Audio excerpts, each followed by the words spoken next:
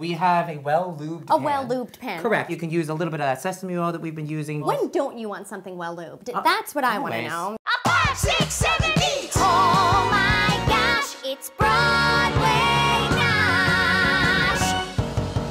Hello, friends! Welcome to another of Broadway Nosh! I'm so excited about my guest today. His name is Telly Leung. You guys know him. He was Boq in the original Chicago company of Wicked. You were Angel in Rent. Yeah. He was Out Magazine's Out 100 for 2014. You are currently one of the stars of MTC's The World of Extreme Happiness. Yeah. Thank you so much for being here. I'm so excited. I'm so excited to cook with you. I know, me too, me too. Now, Telly, you grew up in Brooklyn. I grew up in Brooklyn, New York. Yeah. Yeah, Brooklyn. So, you know, I grew up eating spaghetti and meatballs, a lot of Italian food, Yes. right? So, also, my grandma raised me. She was the one that taught me how to cook. Of course. So, I know how to cook Asian foods, but I love to eat Italian food. So, I figured we kind of combine the two. I love my it. Chinese and my Brooklyn roots and make Telly's Chinese, Chinese meatball.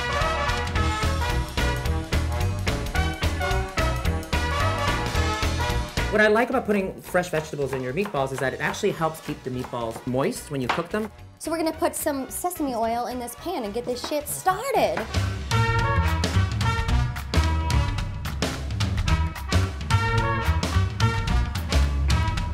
Looks like our onions and our garlic have been cooking for a little while, so I think maybe I'll uh, throw in my green onions.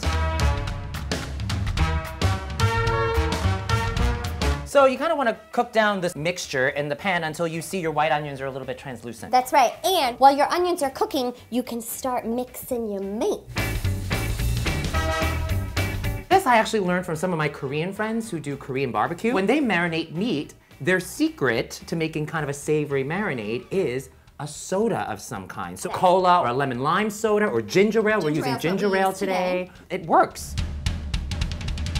We just threw in two cups of panko breadcrumbs. Two cups of panko breadcrumbs. So let's get down and Should dirty we, do, should we both do it? Yes, we're Here getting we in there. Let's do it. in there.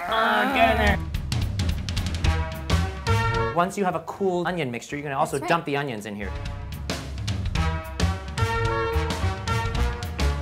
And like any traditional meatball, you, You use eggs. have an egg. The eggs have got to keep it all together, That's right? right. This is where it gets really fun to mix with your hands. Mm-hmm. Ready? I'm ready. Five, Get six, in. seven, eight. We have to let our meat rest for Oh, yeah. like a few minutes. So today, we're playing Meaty Hand Simon. You All right, first. Okay. Oh, Telly! Oh no! What did I do? Oh, you f***ed it up. Let's play it again. Dang it! This reminds me of music theory class. Do mi, do mi, sa. Meow, meow, meow, meow, meow, meow. Oh God. Oh, meow. I think Simon's dead. This Simon set also might be from the early 80s. so- when we found it, there was a Radio Shack battery still in it. So now we're ready to make the meatballs, and we have a well-lubed A pan. well-lubed pan. Correct. You can use a little bit of that sesame oil that we've been using. When don't you want something well lubed? Uh, That's what I want to know. You always. always want it well lubed. What I like to also do is put a crunchy mm-hmm. crust on my meatballs. So we have some panko in a plate.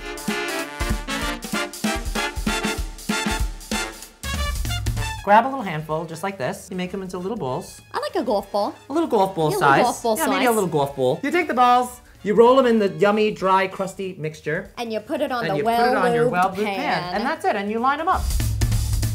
I love that you do musicals and talkies. So yes, I'm in a brand new play. It's called The World of Extreme Happiness, and it's at Manhattan Theater Club at City Center. It's a dark comedy, and it was inspired by the Foxconn controversies. There are these factories in China that make Right. all of our iPhones and our iPads. Working conditions there sometimes cannot be great. So it's about all of these young kids, migrant workers, moving from the farm to be in the city to make money at these factories.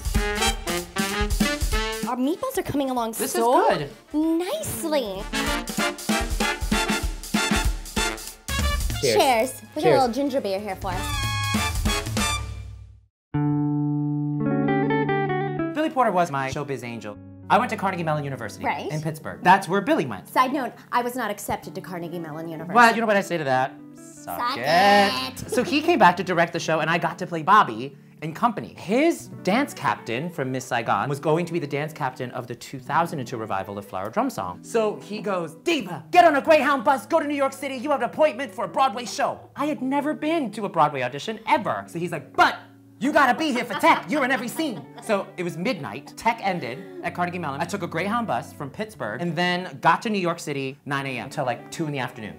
And then you had to get back on that Greyhound and then get bus. back on a bus to go back to Pittsburgh. So when I get back to Pittsburgh, there's Billy and he goes, Diva, how'd you do? I said, listen, if I get this show, I know as the third dancing bonsai tree on the left in Flower Drum Song, I only get like 25 words in my playbill, but four of them will be thank you, Billy Porter. So in my first Broadway playbill, A Flower Drum Song, the last four words are thank you, Billy Porter. And I'm indebted to that man. To Billy Porter. To Billy Porter.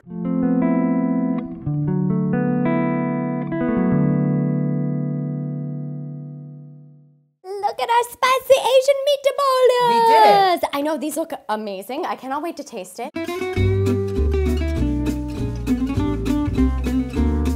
I made a spicy sauce. Oh, yeah? A little Awesome. hoisin, a little soy sauce, a little mirin, Nice. all the Asian I'm, ingredients. I'm stealing. I'm stealing that off the website. All right, get it. BroadwayNosh.com, bitches. Mmm.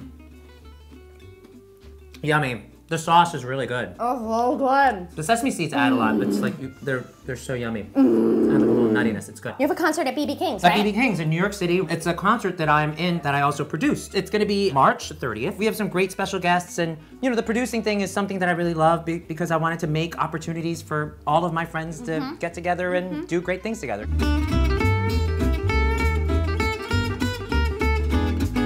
So since I've taught you how to cook a little bit of Chinese food, I thought I'd also teach you and our friends who are watching Nosh little Cantonese. Okay, sign us out. Tell All us. right, Sign ready? us out. Mm-hmm. 多谢。 Doce. Good. 再见。 Jogi. 我希望我哋可以一齐继续 Nosh。 Yes. Add a dash of jazz hands and some tastiness. Mix it up with equal parts of